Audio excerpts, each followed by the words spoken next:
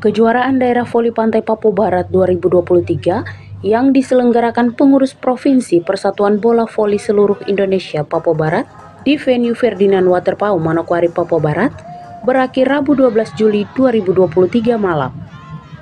Tim putra dari Jayapura, Papua dan tim putri Ikal Jatim tampil gemilang dalam partai final. Keduanya menjadi juara pada dua kategori yang dipertandingkan. Untuk kategori 2x2 putra, tim Jayapura 1 berhasil meraih kemenangan dengan mengalahkan tim Kota Senjakaimana, Papua Barat. Sementara kategori 2x2 putri, tim Ikal Jatim keluar sebagai pemenang setelah berhasil mengatasi perlawanan dari tim Marbers Manokwari.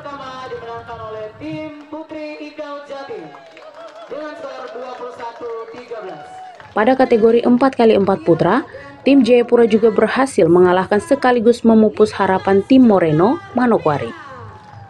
Sementara pada partai putri, tim Ikal Jatim kembali menjadi pemenang setelah berhasil mengalahkan Mikasa Manokwari.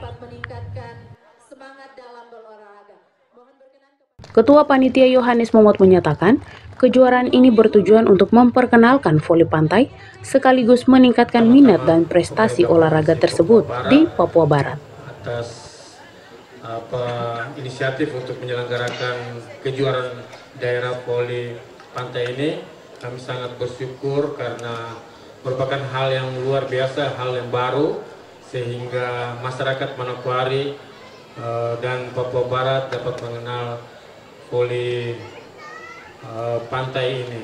PJ Gubernur Papua Barat Paulus Waterpau yang diwakili PJ Sekda Papua Barat dan C. Sangkek mengatakan, Kejuaraan bola voli pantai merupakan wujud nyata bagaimana generasi muda menunjukkan prestasi menyalurkan hobi yang tepat dan positif. Dikatakannya, voli adalah sarana kemajuan bangsa.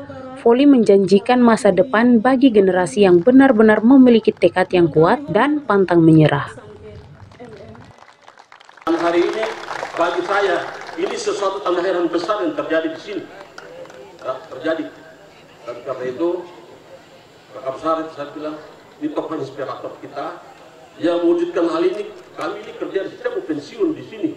Tapi barang-barang seperti itu sulit membayangkan. Venue yang sampai bertaraf nanti jadi nasional bahkan internasional ini sesuatu mustahil. Karena itu ini satu tanah heran besar dan awal yang mulai baik ini pasti akan memberi dampak yang besar bagi negeri kita, bagi generasi bangsa kita ke depan. Dan bayangkan, dalam waktu cuma hitung-hitung itu tiga bulan saja apa? Hal ini disuruh begitu luar biasa dan venue terbaik, venue terbaik di Indonesia yang kita punya. Mari kita tepuk tangan. Pada kesempatan itu, ia mengajak seluruh elemen untuk berkolaborasi membangun sektor wisata yang akan menggerakkan ekonomi-ekonomi kreatif baru yang akan lahir di sepanjang pantai Petrus Kaviar. Ia juga mengapresiasi panitia, wasit, dan peserta, serta seluruh pihak atas dukungan dan kerja kerasnya sehingga event ini dapat berlangsung dengan sukses. Dari Manokwari Hengki Kadiwaru melaporkan untuk Tobe News.